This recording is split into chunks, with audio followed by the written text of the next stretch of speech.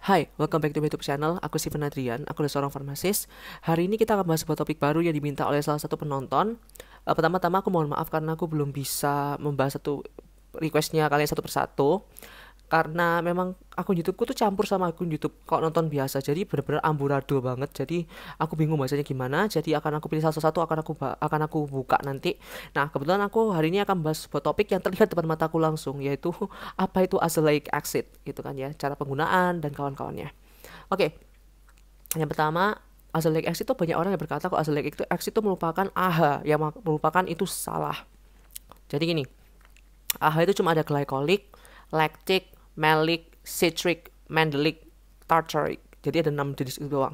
Jadi azelaic acid itu bukan AHA, tapi dia merupakan asam dekarboksilat, merupakan grup yang lain. Nah, azelaic acid sendiri ini memang terbukti memang dia tuh untuk mengobati acne vulgaris yang artinya untuk mengobati jerawat untuk terapi acne vulgaris serta memang dia itu memiliki kemampuan antiinflamasi yang sangat bagus sehingga memang dia itu sering digunakan sebagai terapi untuk mengobati rosacea atau inflamasi yang sangat berlebihan pada kulit atau sensitivitas yang sangat berlebih. Nah, biasanya rosacea ini akan diobati dengan azelaic acid 15% maupun ke atas.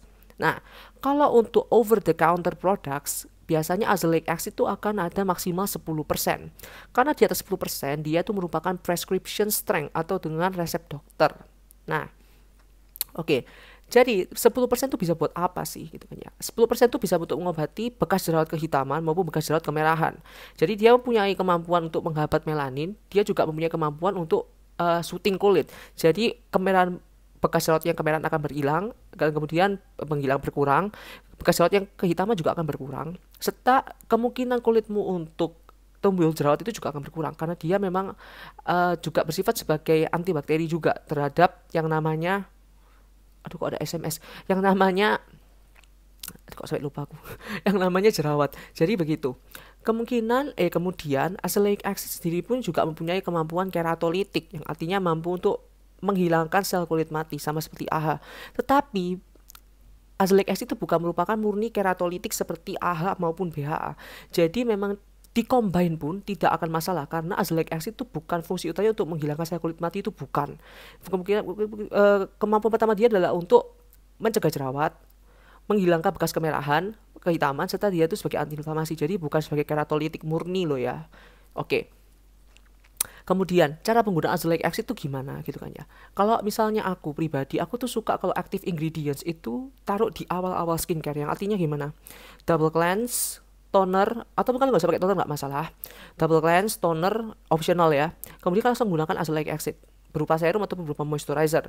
Jadi tidak saja jika berupa serum ya gunakan di awal. Kalau misalnya kalian menggunakan berupa moisturizer ya gunakannya di akhir setelah kalian menggunakan serum. Nah, moisturizer itu akan selalu ada di akhir. Kenapa moisturizer adalah untuk mengesil atau untuk mengunci segala produk sebelumnya setelah kalian pakai.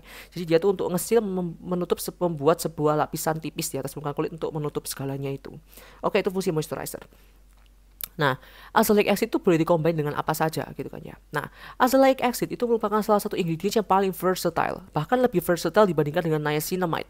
Niacinamide itu masih akan ada beberapa yang tidak cocok dengan uh, niacinamide. Contohnya dengan vitamin C. Nah, vitamin C di sini yang tidak cocok dengan niacinamide itu hanya vitamin C jenis L-ascorbic acid.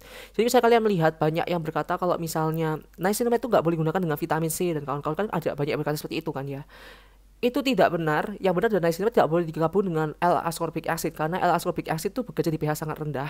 Sedangkan ascorbic glucoside dan kawan-kawannya itu di pH yang agak tinggi nggak masalah. Jadi bisa digabung. Kok kok jadi melencong ya? Oke, terus azelaic acid itu tidak akan berinteraksi dengan jenis-jenis ingredients apa pun.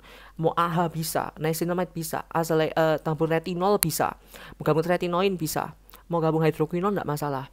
Terus mau gabung apa lagi? AHA BHA nggak masalah terus mau gabung jenis ingredients apa pun azelaic acid itu akan kompatibel. Jadi tidak akan menyebabkan reaksi yang berlebih jika kalian pakai ingredients lain selain dengan bersama dengan azelaic acid jadi yang itulah kenapa aku, aku sangat suka azelaic acid karena memang dia tuh bebas digunakan dengan ingredients apa pun tanpa kalian harus mikir. Mau apa pun tidak masalah tidak akan iritasi maupun tidak akan membuat produk jadi tidak efektif. Oke okay, terus azelaic acid sendiri itu uh, memang agak susah ya cari produknya ya. Aku jujur aja aku harus berkata kok memang agak susah. Jadi ya kalian cari-cari saja sih karena kalau untuk produk memang jarang ada yang azelaic acid murni ya nah terus aku juga mau ngomong lagi di sini azelaic acid itu pun juga ternyata lebih bagus jika dikombin dengan ingredients lain. Jadi azelaic acid jika berdiri sendiri itu jujur aja malah tidak terlalu terlalu bagus banget. Jadi kalau kalian mau combine azelaic acid dengan niacinamide, it's going to provide much better result. Jadi akan menghasilkan efek lebih bagus dibandingkan kamu pakai azelaic acid itu sendiri. Oke. Okay. I think that covers it up sudah selesai yang ditanyakan orang itu. So thank you so much for watching. See you next time. Bye.